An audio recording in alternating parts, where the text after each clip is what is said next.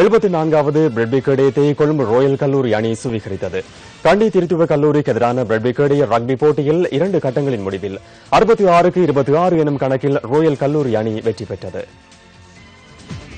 எழுபத்தி நான்காவது ரக்பி கேடயத்தின் இரண்டாம் கட்ட ரக்பி போட்டி கண்டி பல்லைக்கலை மைதானத்தில் இன்று நடைபெற்றது. போட்டியின் ஆரம்பம் முதலே ஆதிக்கம் செலுத்திய ராயல் கல்லூரி அணி முதல் பகுதியை பதிமூன்றுக்கு ஐந்து என கைப்பற்றியது. இரண்டாம் பகுதியில் இரண்டு அணிகளும் தலா பதினான்கு புள்ளிகளை பெற்றன. போட்டியில் இருபத்தி ஏழுக்கு பத்தொன்பது எனும் புள்ளிகள் கணக்கில் ராயல் கல்லூரி அணி வெற்றியீட்டியது ராயல் கல்லூரி அணி பெற்ற இருபத்தி ஏழு புள்ளிகளில் நான்கு ட்ரைகளும் மூன்று கோல்களும் ஒரு பெனால்டியும் அடங்கின. திருத்து அணி மூன்று ட்ரைகள் இரண்டு கோல்களுடன் பத்தொன்பது புள்ளிகளை பெற்றது. கடந்த இருபத்தி ஓராம் திகதி கொழும்பில் நடைபெற்ற முதல் கட்டத்தில் முப்பத்தி ஒன்பதுக்கு ஏழு எனும் புள்ளிகள் பிரகாரம் ராயல் கல்லூரி அணி வெற்றி பெற்றது. அதற்கமைய இரண்டு கட்டங்களின் முடிவில் அறுபத்தி ஆறுக்கு இருபத்தி ஆறு எனும் புள்ளிகள் வித்தியாசத்தில் ராயல் கல்லூரி அணி வெற்றி வாகை சூடியது.